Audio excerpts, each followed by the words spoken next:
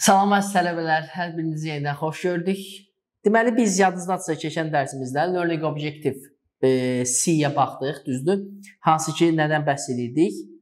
E, degree of financial leverage, degree of operating leverage və degree of total leverage bundan danışdıq. Düzdür və dedik ki, bu hissədə dayanaq.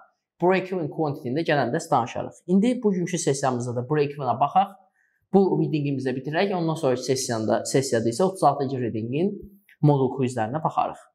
Deməli ümumiyyətlə break-even, break-even nə deməkdir? Yəni siz qoyduğunuz xərcləri qarşılaya bilirsiniz. Break-even yəni sıfır işləyirik. Düzdür? Nə qədər xərcim varsa, onun hamısını qarşılayacaq qədər revenue generate edirəm, income generate edə bilirəm. Yəni nəticə etibarilə net income-ım neçədir mənim? Sıfırdır. İndi bizdə də deyir ki, bax, calculate the break-even quantity of sales. Yəni görürsən mən nə qədər satış eləməliyəm ki, total xərclərimi qarşılaya bilim ki, net income neçə olsun? 0 olsun. Bax o 0 nöqtəsi bizim üçün break evendir. Yəni 0-ı artıq sındırırıq. Break even.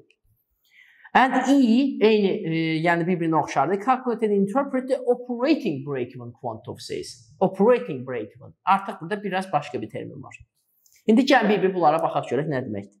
Deməli, break even quantity of sales, which is the quantity of sales for which revenues equal total cost. So that net income is zero. Yəqin ki, revenue ilə income arasındakı biz fərqi bilirik. Yəqin ki, hə?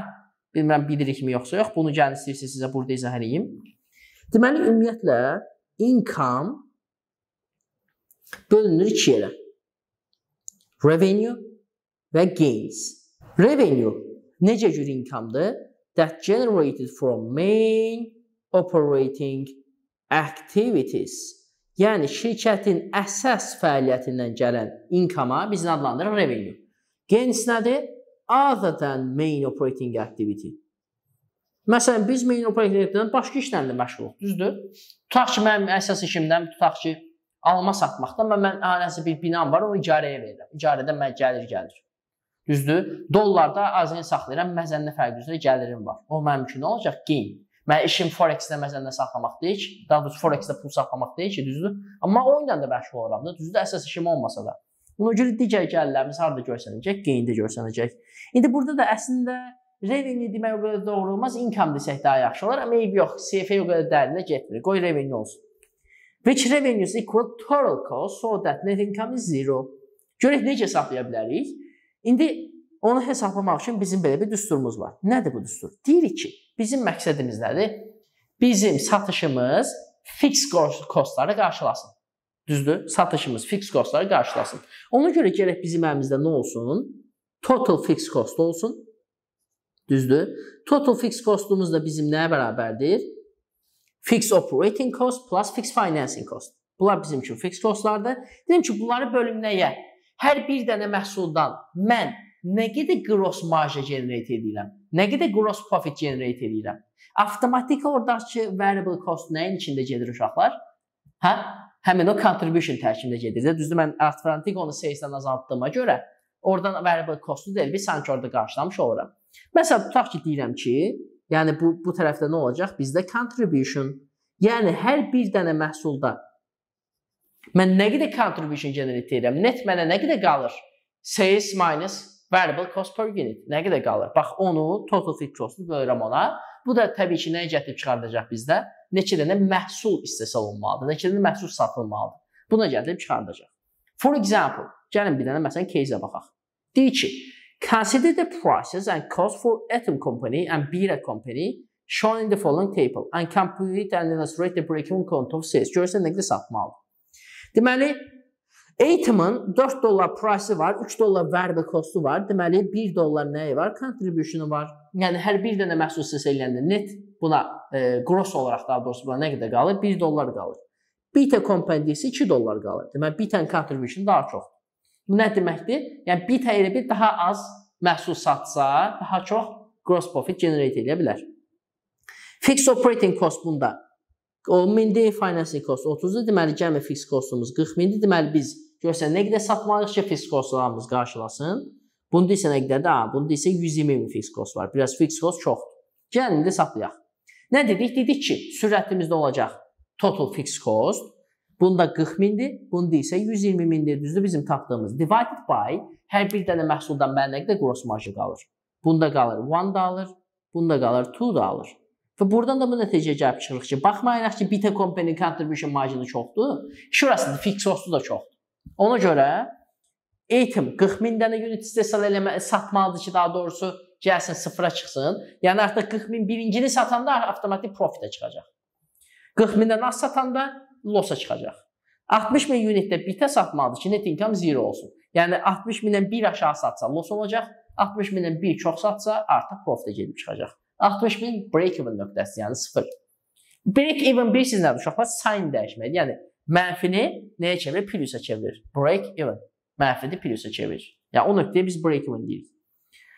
Yaxşı, indi gəlin məsələn nəyə baxaq? Bu qrafika baxaq görək bu break-even necə olur? Və bu break-even point itemdə hansı nöqtə idi? 40 min idi. Düzdür? Bax buradan da görünür 40 min. 40 mindən də bu az hissə eləsə çıxacaq losa. Bax bu hissəmiz bizim üçün losdur. 40 mindən çox eləsə çıxacaq hara? Profitə. Düzdür, bu bizə bunu göstərir. Yəni total costumuz bu, bu nöqtədə revenue-dan az olacaq, bu nöqtədə isə total costumuz çox olacaq.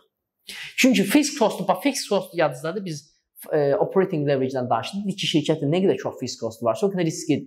Çünki sən satışın azaldıqca o iş orası da fixed cost azalmır. O problemdir bizim üçün. Bax burada da biz deyirik satış azdır, amma fixed cost eynidir axı. Amma 40 mindən sonra fixed cost per unit sənin azalacağına getdiyinə görə nə olur? Avtomatik olaraq sən profitə gedib çıxırsan. Bu da beta company-inkidir. Fikir verirsiniz, beta company buna nəzərən hardadır? Biraz sağ tərəfdədir. Ona görə bu daha çox istisna eləməlidir ki, və bu aradakı olan net lossdan da nə olsun? Çıxsın. Yəni bunu da recover eləməlidir. Düzdür? Beta company. Görürsüz ki, çətin deyil. İndi sual odur ki, operating break-even quantity of sales bəs nədir? Heç nə. Bir dənə nəyi exclude edirik? Exclude finance cost. Sadəcə olaraq düsturda finance costu təmizləyirik. Deyirik ki, sırf operating fixed costu recover eləmək üçün, yəni həm variable cost, təbii ki, həm də fixed costu recover eləmək üçün, onları ödəyə bilmək üçün biz nə qədər sales generate etməliyik, neçədən məhsul satmalıyıq, ona baxır. Düsturumuzda görürsüz ki, bir dənə dəyişiklik var, o da burada finance cost olmamalıdır. Suala baxsaq çox rahat eləyə bilərik. İndi deyək ki, eyni datadan istifadə edə nə hesabla operating quantity-ni tap. Yadınızdadsa birində 10 min idi, birində 80 min dollar idi. Nə fixed operating cost? O da çıxır ki, mən bayaq 40 min istisna eləməliydim ki, net income 0 çıxım. İndi isə 10 min istisna eləməliyəm ki, operating profitim 0 olsun. Baxın, net profit demirik, operating profit deyirik. Bərabərdir 0. Yəni 10 mindən çox istisna eləsəm operating profit plus olacaq, az istisna eləsəm minus olacaq. Eyni formada bu da 40 min, yenə də bizim üçün nə deməkdir? Operating profit 40 mindən istisna eləsən 0 olacaq. Yəni operating fixed cost və variable costları qarşılayırsan satışın, amma ondan az eləsən iş orasında losa çıxacaqsan. Yaxşı, bu da bizim üçün operating break-even quantity. Burada bizim danışdığımız kimi leverage-dən danışır. Ki, burada da yəni leverage-in bizim üçün təsiri var. Düzdür, fixed cost nə qədər çoxdursa, iş orasındadır break-even quantity o qədər çoxdur. Break-even quantity çox olmaq bizim üçün yaxşı deyil. Çünki sən çox hissə eləməlisən ki, sıfıra çıxasan. Amma bizə nə lazımdır? Mən az istehsal eləyəndə gedim sıfıra çıxım ki, nə qədər çox istehsal edirəmsə artıq olaraq o mənə profit gətirsin. Düzdür? Ona görə leverage-in burada bizim üçün böyük önəmi var. Bu hissədən bu qədər. Görürsüz ki, çətindir break-even hesablamaq. Gəlin növbəti sessiya, bu sessiyamızı burada bitirək. Növbəti sessiyada 36.1-ci modulumuzun cavablarını, daha doğrusu sualların cavablarına bir yerdə baxaq. Özünüzə yaxşı baxın. Hələlik.